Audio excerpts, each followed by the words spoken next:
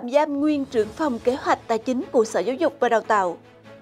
Ủy ban Nhân dân tỉnh Gia Lai vừa có quyết định số 286 về giao vốn đầu tư phát triển cho 7 dự án thuộc chương trình Mục tiêu Quốc gia phát triển kinh tế xã hội vùng đồng bào dân tộc thiểu số và miền núi.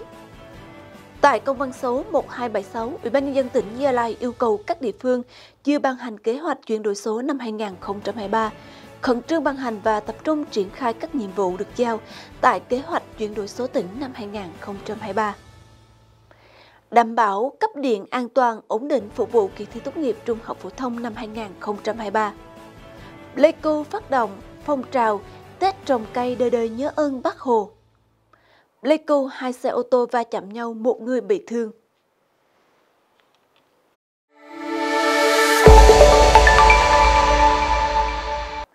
Xin kính chào quý vị, quý vị đang xem bản tin 24 giờ thứ hai ngày 5 tháng 6 năm 2023 được phát sóng vào lúc 19 giờ 30 phút trên Báo Gia Lai điện tử và sau đây là nội dung chi tiết.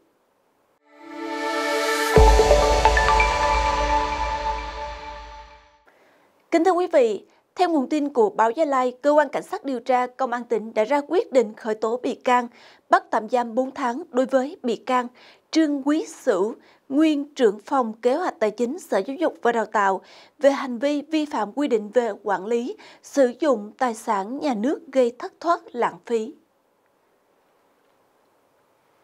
Qua tìm hiểu, ông Trương Quý Sửu với trách nhiệm là phó trưởng phòng, trưởng phòng kế hoạch tài chính từ năm 2017 đến tháng 3 năm 2023 đã tham mưu trực tiếp để xảy ra sai phạm tại 10 trên 14 dự án phần mềm tại Sở Giáo dục Đào tạo. Vụ án này cũng đã được cơ quan cảnh sát điều tra công an tỉnh Gia Lai ra quyết định khởi tố vụ án hình sự số 64 ngày 15 tháng 11 năm 2022. Đây là vụ án được thanh tra tỉnh phát hiện qua nội dung kết luận thanh tra số 08 ngày 2 tháng 6 năm 2022 về việc đầu tư các dự án mua sắm các phần mềm ứng dụng công nghệ thông tin trong hoạt động tại Sở Giáo dục Đào tạo giai đoạn 2015-2021. Cũng qua kiểm tra phát hiện nhiều phần mềm được Sở Giáo dục Đào tạo trang bị cho các đơn vị trực thuộc nhưng không sử dụng, dẫn đến việc sử dụng ngân sách chưa hiệu quả, nhiều phần mềm không được sở công khai kết quả lựa chọn nhà thầu. Như vậy, tổng số tiền sai phạm trong việc mua sắm phần mềm ứng dụng công nghệ thông tin áp dụng vào hoạt động quản lý tài chính và giáo dục tại Sở Giáo dục Đào tạo là hơn 2,3 tỷ đồng.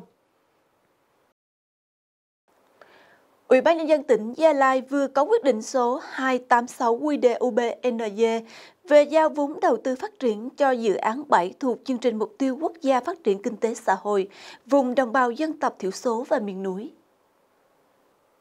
Theo đó, nguồn vốn 5,4 tỷ đồng của Trung ương đầu tư cho Gia Lai từ năm 2012 đã được chuyển sang năm 2023 và giao cho Sở Y tế Gia Lai tiếp tục thực hiện dự án 7 gồm chăm sóc sức khỏe nhân dân nâng cao thể trạng, tầm vóc người dân tộc thiểu số, phòng chống suy dinh dưỡng trẻ em thuộc chương trình mục tiêu quốc gia phát triển kinh tế xã hội vùng đồng bào dân tộc thiểu số và miền núi. Được biết, dự án 7 giai đoạn 1 được triển khai trong 5 năm 2021-2025 trên cơ sở đã xây dựng kế hoạch tỉnh Gia Lai phân đấu đến năm 2025 có ít nhất 25% nam nữ thực hiện tư vấn, khám sức khỏe trước khi kết hôn, tại các xã có triển khai can thiệp tại khu vực 3 thuộc vùng đồng bào dân tộc thiểu số, 20% bà mẹ mang thai được tầm soát, sàng lọc trước sinh. 60% người cao tuổi được khám sức khỏe định kỳ ít nhất một lần trên một năm. Tại các xã thuộc vùng đồng bào dân tộc thiểu số và tặng thêm 60% người dân sử dụng dịch vụ dân số kế hoạch hóa gia đình tại các xã đặc biệt khó khăn của tỉnh. Quý vị, tại công văn số 1276, Ủy ban Nhân dân tỉnh Gia Lai yêu cầu các địa phương chưa ban hành kế hoạch chuyển đổi số năm 2023 khẩn trương ban hành và tập trung triển khai các nhiệm vụ được giao tại kế hoạch chuyển đổi số tỉnh năm 2023. Thực hiện nghiêm quy định về bỏ sổ hộ khẩu, sổ tạm trú giấy, tăng cường khai thác thông tin cư trú từ cơ sở dữ liệu quốc gia về dân cư, không yêu cầu người dân cung cấp giấy xác nhận tình trạng cư trú trong quá trình giải quyết thủ tục hành chính đề nghị giám đốc các sở, thủ trưởng các ban ngành và chủ tịch ủy ban nhân dân cấp huyện quan tâm đến vấn đề này, dành thời gian kiểm tra phối hợp chặt chẽ với công an cấp huyện, kịp thời tháo gỡ khó khăn vướng mắt. Khẩn trương chỉ đạo bộ phận một cửa các cấp không yêu cầu xác nhận chứng minh thư nhân dân chính số trong tiếp nhận hồ sơ thủ tục hành chính cho cá nhân tổ chức.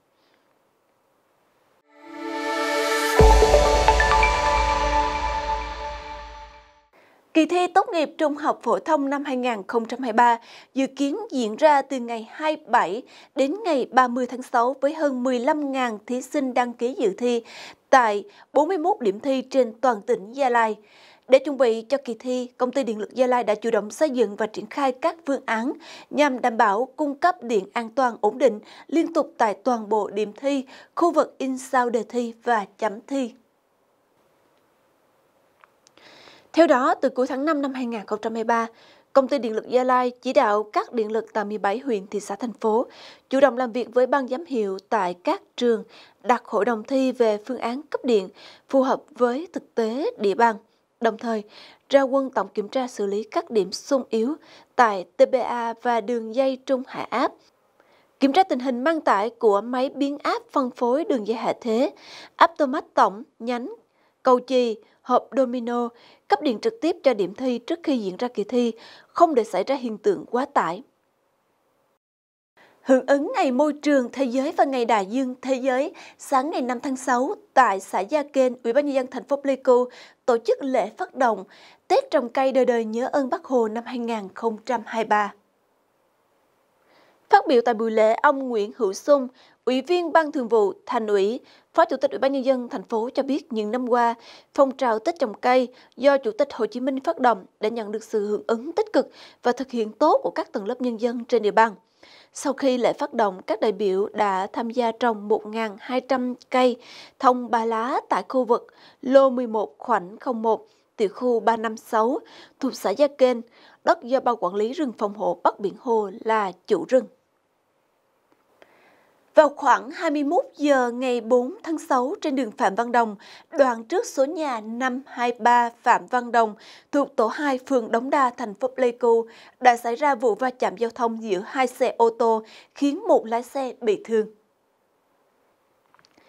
Theo đó, vào thời điểm trên, xe ô tô mang biển kiểm soát 81A 10177 chưa rõ người điều khiển, lưu thông trên đường Phạm Văn Đồng đi trung tâm thành phố Pleiku. Khi đến địa điểm trên thì bất ngờ bị xe ô tô mang biển kiểm soát 81E00090 do anh Nguyễn Đức Thống sinh năm 1993, trú tại phường Đông Đa, thành phố Pleiku điều khiển lưu thông cùng chiều, đâm vào hông xe từ phía sau. Cú đâm mạnh khiến xe ô tô 81A 10177 quay ngược. Vụ va chạm giao thông khiến anh Thống bị thương, hai phương tiện bị hư hỏng. Ngay sau khi sự việc xảy ra, lực lượng chức năng thành phố Pleiku đã xuống hiện trường để điều tra làm rõ nguyên nhân vụ va chạm giao thông trên.